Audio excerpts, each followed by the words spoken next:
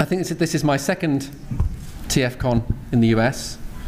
Um, and I did the Canadian one as well. Um, so I don't come over too, too often actually, so it's really nice to see everybody. And um, it's been great meeting people at the, at the table.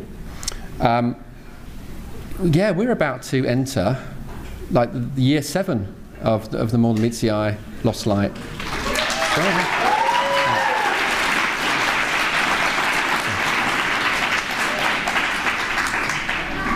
What a nice room. Let's just let's just stay here. It's yeah.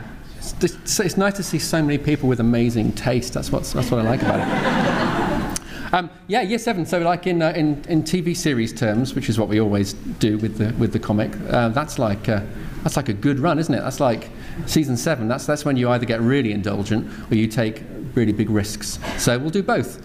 Um, um, uh, yeah, so I mean, my my journey with with the comic or with Transformers started back in 2010, or really 2009 was when I was sort of um, asked to help Nick Roche out on Last Stand of the Wreckers. And uh, yeah, shout out to Nick. Thanks, Nick. And it was all a bit. It was all. It was all. It seems a long time ago. And and the and you know the IDW universe was you know three, four, four years old, five years old. Um, and uh, what they wanted to do is they wanted to give it a bit of a soft reboot. And they were going to, they wanted, uh, it was Andy Schmidt was the editor at the time, and he had, he had a plan to sort of target different demographics um, with three new series. Or th um, so there was going to be the Bumblebee mini-series, that was aimed at the, at younger readers, because that, you know, Bumblebee being a pop culture icon and stuff, and this would have been after the first movie. So that was a Bumblebee mini-series. Um, and the Wreckers as, as, as he later said to Nick and I, Wreckers was aimed at the hardcore fans. You know, it was, it was going to scratch your itches. Um, and so we were, perhaps Nick and I were given a bit more, um, well, we, maybe we were indulged. We were allowed to do um, sort of stuff that would certainly appeal to, um, to, to the longer term fans and which would delve a bit more deeply into the sort of the, the, the Transformers mythos. So that was Wreckers, and uh, that went really well for us, you know, creatively. We enjoyed doing that. And then we just have to wait and, um, and wait to see whether there be any other projects coming along. Um, and in my case, um, the next thing I did, my first solo story was Chaos Theory, um, which was, which was, thank you. Oh, being British, I just don't get used to this stuff. You know, uh, are you being the mass sarcasm from the audience? Um, so Chaos Theory was uh, came about because um, in Mike Costa's ongoing at the time, Megatron had surrendered, and he was in, in Autobot. Um, he was in, in jail, um, and it gave me an opportunity to do something as a as a long term fan that I'd always wanted to see happen, which was him and Optimus just to have a head to head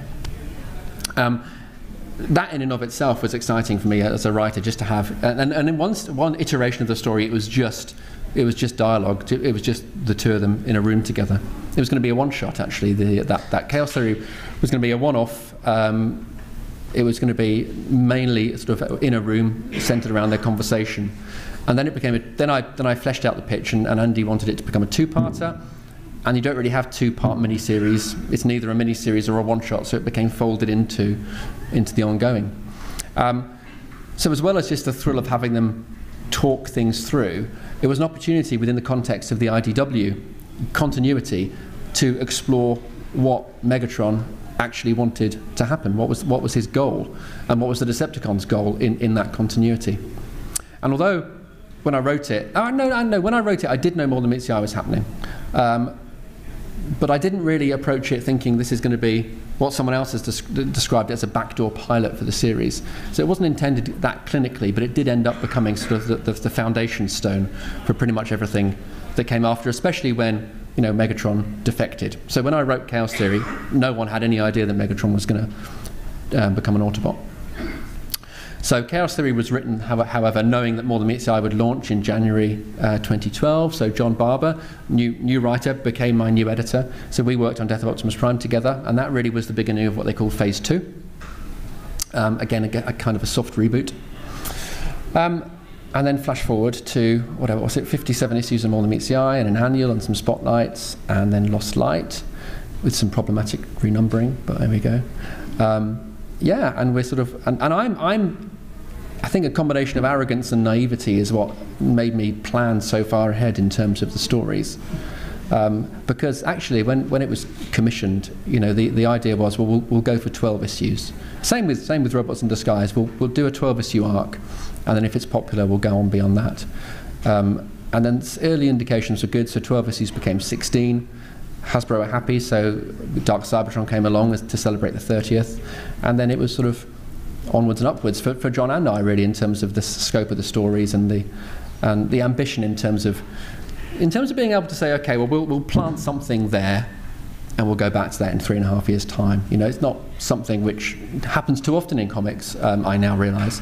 But, you know, it, it worked for us.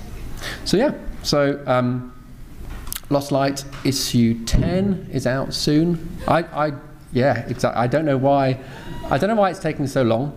Um, but it's, yeah, we should be a bit further ahead by now. Um, I hope we can catch up. So issues 10, 11, 12 is the Mutineers trilogy. Um, so that's a return.